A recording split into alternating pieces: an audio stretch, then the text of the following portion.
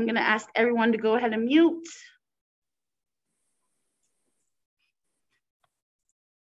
Hand it over to Bobby. There you go, Bobby. All right, good morning. Happy Valentine's Day. This is our book. We're going to be reading a little bit more about Helen Keller, okay? Just like we did with Harriet Tubman, we read more than one book. So you get a, um, um, a fuller picture of the person when you come at it from different perspectives. Okay, so this is by Christina Platt. And it's very nicely illustrated. And as usual, there's some real photographs of her in the back.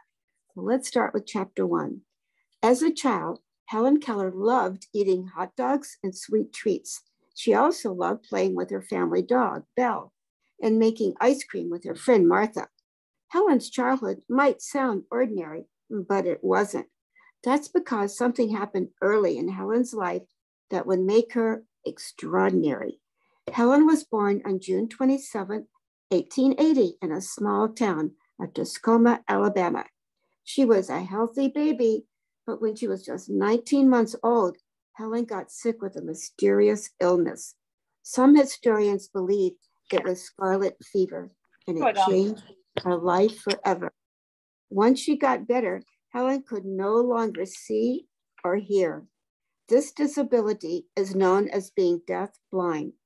In the 1800s, many people believed that deaf-blind children couldn't learn to read or write. But today, deaf-blind people all around the world are educated and have wonderful lives. Here's the illustration of, of Helen. Helen proved that it could be done.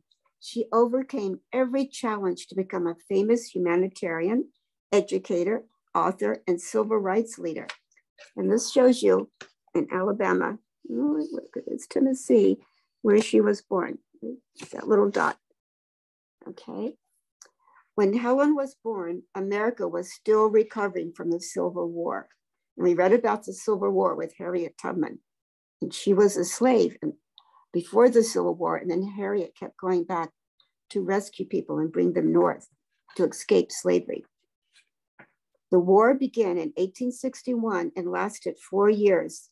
The Southern states used enslaved people as free labor and wanted to keep doing so. The Northern states believed that slavery was unfair and needed to end. The Northern Union Army defeated the Southern Confederate Army, and the war ended on April the 9th, 1865, and slavery was abolished. After the war, Helen's hometown of Tuscoma was nothing like the small, thriving town it had once been. Before, a railroad had run through it, but the railroad was destroyed in the war. The Kellers had used slave laborers on their cotton plantation. So her family or parents actually used slaves for to do their work. And that's what Harriet Tubman was escaping from, if you remember. After the war, they could not enslave people anymore. So the Kellers weren't poor, but they weren't as wealthy either as they had been. A formerly enslaved woman named Miss Washington worked as the Keller's family cook, and her daughter, Martha, would play a special role in Helen's life. Despite Helen's illness that caused her to become deafblind, she accomplished many things. Her determination to learn and succeed changed the way people thought about disabilities. Let's learn more about Helen and why she is often called the First Lady of Courage. Here's a picture of her hometown. And it's not as busy as it used to be after the Civil War. Growing up in Tuscoma, Alabama, Helen's father, Captain Arthur Henley Keller, fought with the Confederate Army. After the war, he worked as an editor for the local paper. And there's her parents, and they're holding Helen in her mom's lap. And there's a picture of their house. Their mother, her mother, was the daughter of a Confederate general. The Kellers had three children together Helen, her younger brother Philip, and her younger sister Mildred. Helen also had two older half brothers, James and William. And there they are playing. And that's before Helen got that illness that caused her to lose her hearing and her sight. The Keller family lived on a plantation that Helen's grandfather had built many years before. Helen's aunt Evelyn lived with them too. The Keller's family property was known as Ivy Green, and it was very beautiful. Ivy Green had more than 640 acres of farmland, which is the size of about 480 football fields. There was a lot of room to grow crops and raise livestock. There was also a lot of room for the Keller children to run and play. There were plenty of trees to climb, and the garden had lovely flowers like roses and honeysuckles. There was a little college at Ivy Green, a short walk from the main house. One day, this beautiful little cottage would become a special place for Helen. When Helen was 19 months old, she became very sick, and her parents didn't know what to do. And there's just a picture of her father right by her bed. Even the doctors didn't know what was wrong. Their medicine did not help Helen get better. And soon little Helen had a very dangerous high fever, and everyone was afraid she wouldn't live. It was a miracle that Helen survived this mysterious illness. But once she got better, her parents noticed that she wasn't the same playful toddler. Helen started bumping into things as though she couldn't see. And they realized the fever had caused Helen to become blind. Whenever anyone called to Helen, she couldn't hear them either. And soon they realized Helen was also deaf. She lost her sense of hearing. Helen was deaf blind. Because there was no cure for being deafblind, everyone felt very sorry for Helen. Her family didn't know how they could talk to her or how she would learn. But Helen would surprise everyone as she overcame the challenges of being unable to see and hear. There's a picture of her. And she's holding her doll and she looks very sad. Helen had always been a very smart toddler. She could speak a few words and walk by the age of one. But Helen's new world was dark and silent. No one knew how Helen felt. And even though her family loved her, she often felt alone.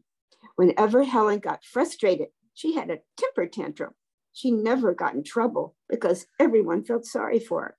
Sometimes Helen's parents even gave her candy to calm her down. This only made, her behavior worse.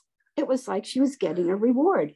Helen was also jealous of her new baby sister, Mildred, and she often had tantrums to make her parents, to take her parents' attention away from the baby Mildred. By the time Helen was five years old, she was a wild, disobedient child. Helen used her hands to let people know what she wanted.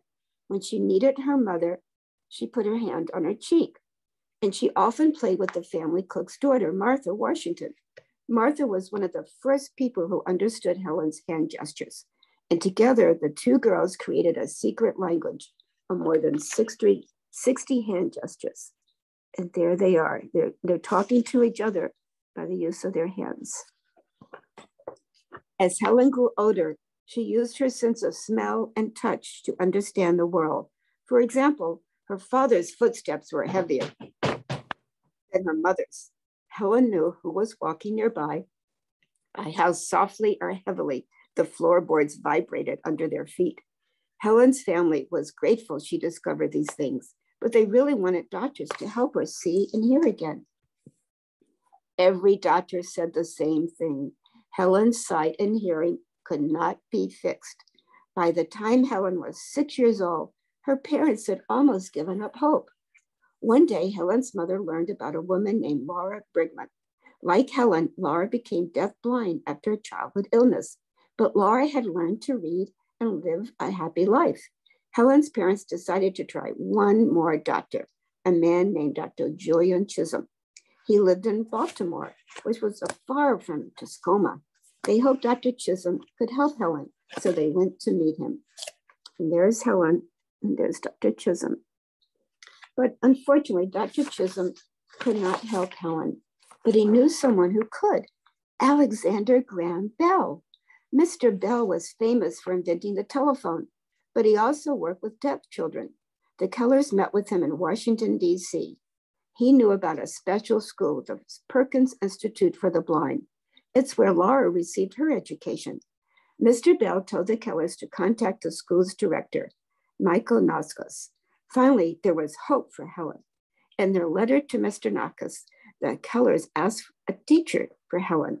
A few weeks later, they received wonderful news.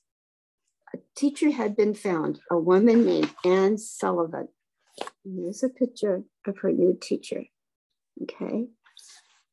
Anne Sullivan traveled more than a thousand miles from Boston, Massachusetts to Tuscoma, Alabama.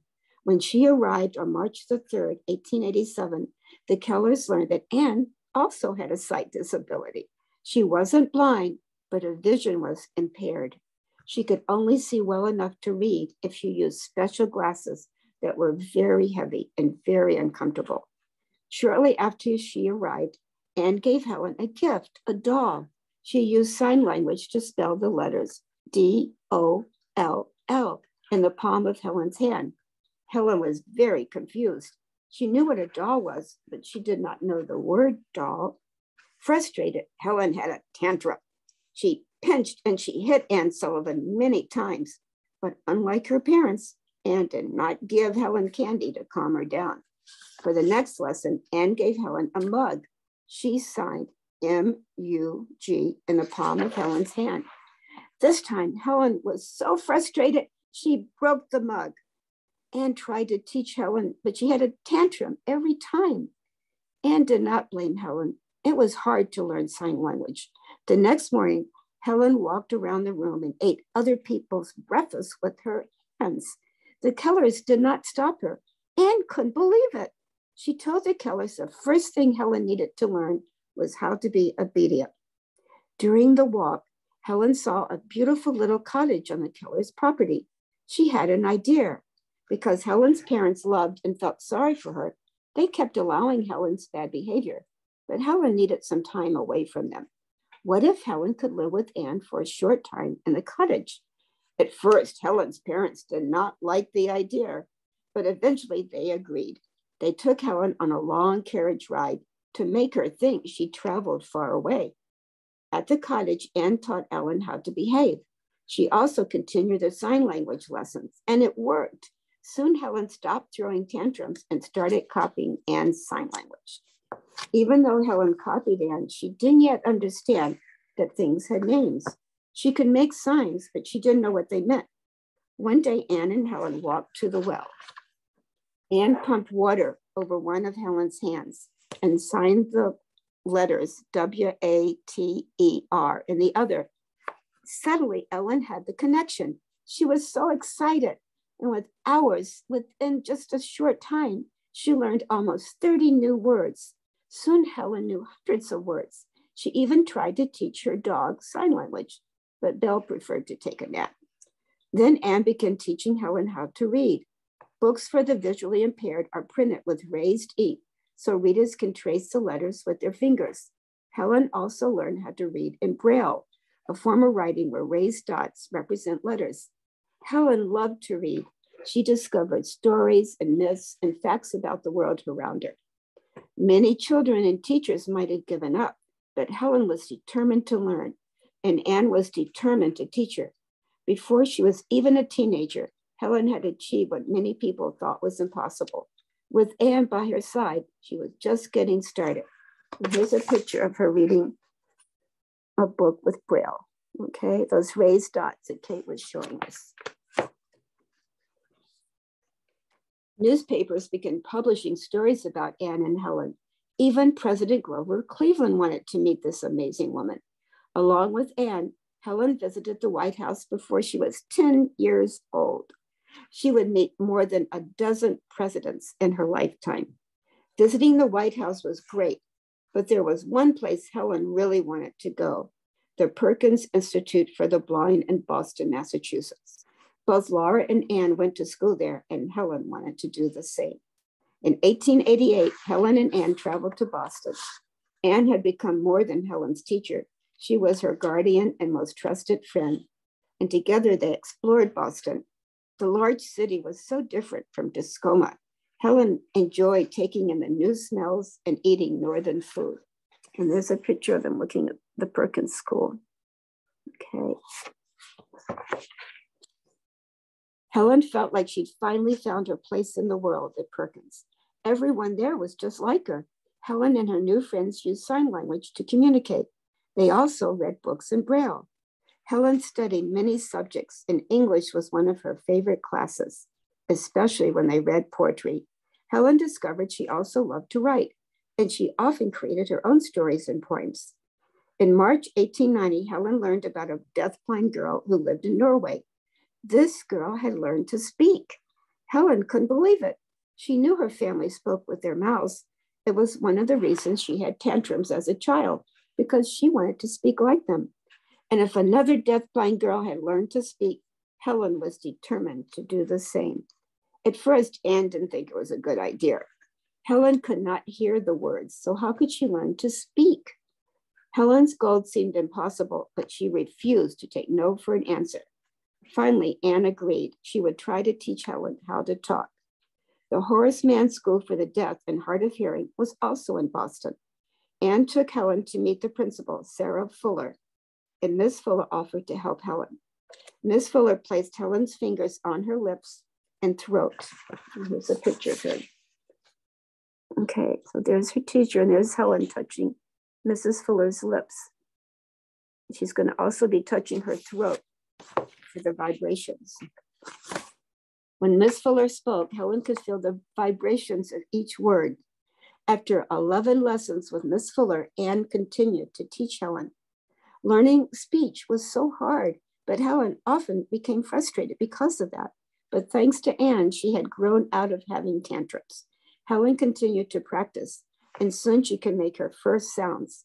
Then, when she was 10, Helen spoke her first sentence It is too warm. She had set a huge goal for herself, and she had reached it. In 1894, Anne took Helen to New York City to attend the Wright Human Mason School for the Deaf. Helen was the only student there who was deaf and blind. Okay, so they're, they're walking around New York City. Okay, lots of things to smell. Okay, can't hear, but to touch and feel and to taste. She signed the words into Helen's hands, and meanwhile, Helen continued learning to speak. Helen was 13 years old, and like most teenagers, she wanted to explore New York City.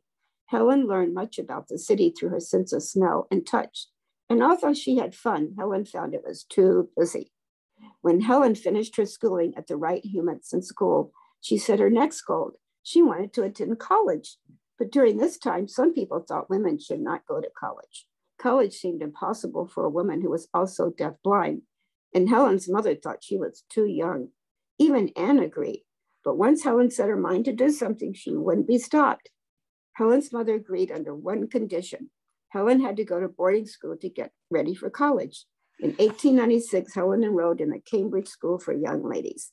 There she studied for her college entrance exams. Helen wanted to go to Harvard University, but at the time only men were allowed. So Helen applied to Harvard School for Women, Radcliffe College. She was nervous, waiting to find out if she got in. Then one day a letter arrived from Radcliffe College. Helen was accepted and she couldn't wait to begin. And there she is. Okay, you can see they're sitting together, Anne and Helen, and Anne is signing into Helen's hand the lectures that Anne can hear, but Helen can't. Radcliffe College was just outside of Boston. Unlike the other schools that Helen had attended, her class, classmates at Radcliffe could see and hear, and none of Helen's textbooks were available in Braille, so Anne read and translated them. She also attended classes with Helen and translated the professor's lectures. College classes weren't easy. They were extra hard for Helen because she was deaf blind. Most other students could review their textbooks and class notes, but Helen had to memorize everything. She had to work so much harder in order to succeed.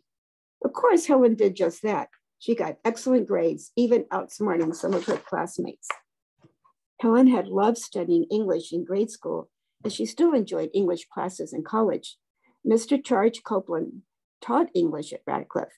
He thought Helen's writing was fantastic. Mr. Copeland encouraged Helen to write more, especially about her experiences as a deaf-blind person. Helen used a typewriter to write.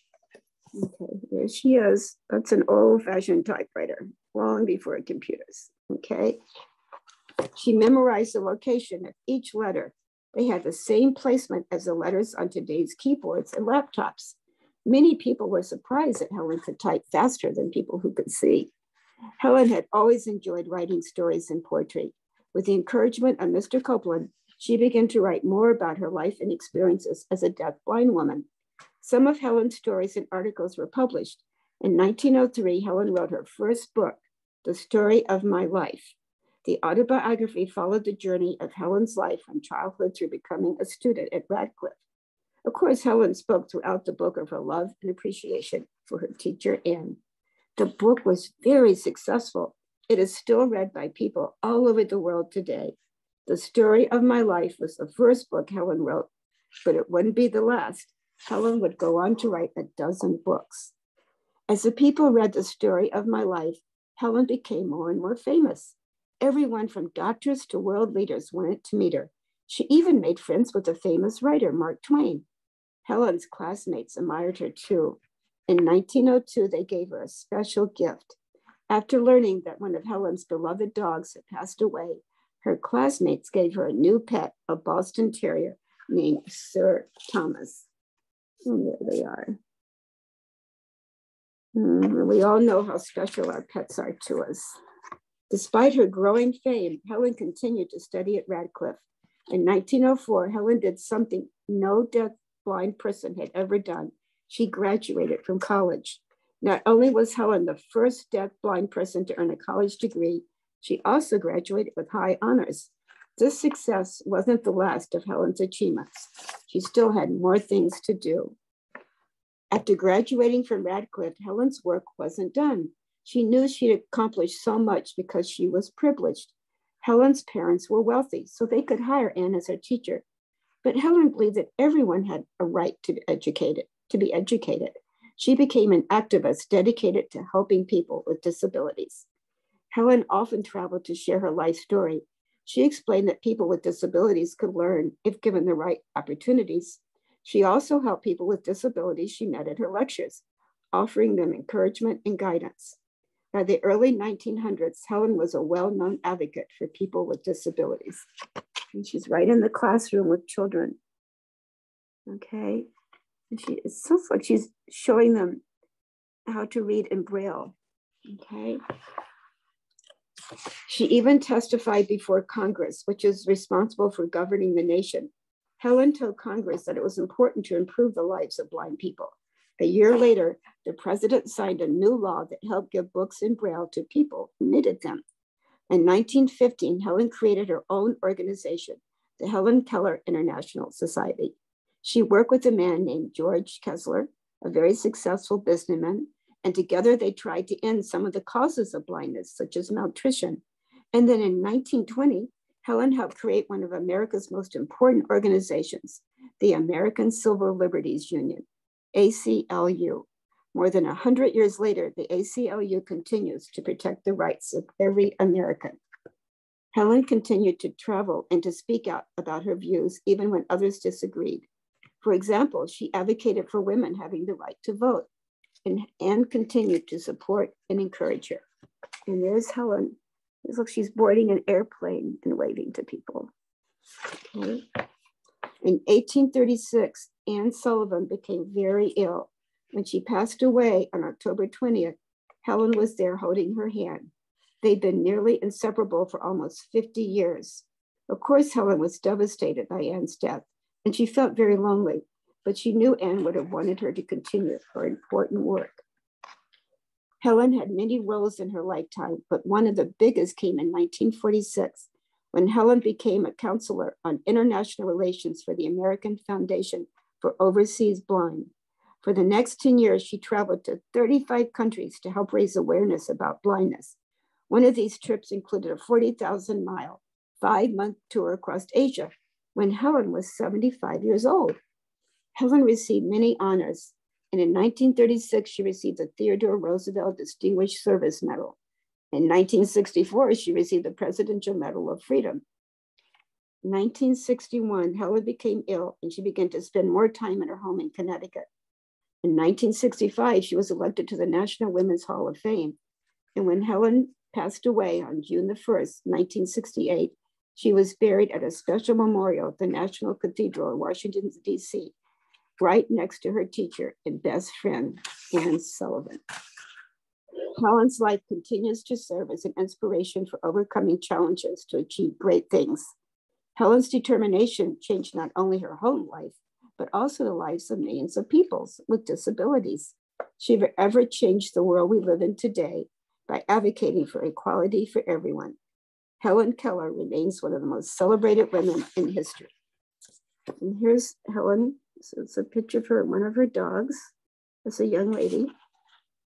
It's a picture of her and her teacher, Anne. Okay. Only two photographs that we have. We do. Okay. So that's more information, a lot more information about Helen Keller and her life. Okay. So I know we'll be asking you questions about her being an inspiration, certainly to me, to learn that such a, a person could overcome so much. Right. You guys, I'm just going to check my time because I have one more beautiful book that I found in Florida. Ah, I don't, you know what? I'm going to show you the book, but I think it's getting too late to read it because it, it's a little bit long. It's this one. It's about a seahorse and about everything he's discovering in the ocean around him and about how he's the papa that carries his babies right in his pouch. But it's long and it's beautiful, and I want you to enjoy it. So we're going to save it for next week. Okay. So, Miss Carmen, I'm going to. Yes, thank you so out. much, Bobby. Yeah. Um, we just want to say thank you for doing book club, Bobby. It's always a pleasure. Thank you. We have so much fun listening and Who's learning that? from you. That's the hostess. And I see Carmen. that. Please. Hi. Uh, we're all going to say bye to Bobby, and we can all say thank you to Bobby. Ed, do you have a question first? Are you Thanks very Bobby? much. All right. Well, thank you. You're welcome. Thank you very much. Everybody. Bye. We'll next week. Thank you, Bobby. Welcome. I want to say happy Valentine's Day. Oh, mommy. Thank you. Don't forget, today is Valentine's Day. It's not always about, you know, a spouse. It's about friends and family yes. too. Sharing Anybody you love. yes, sharing is caring. I like that, Bobby. All right, bye guys. I'll see you all soon. Bye. Thank you so much. I hate